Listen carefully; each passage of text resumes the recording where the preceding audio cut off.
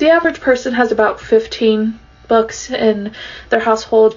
15! Hold, hold, hold, hold, hold, hold on. 15? Are you sure they didn't mean per square foot? Because fifteen.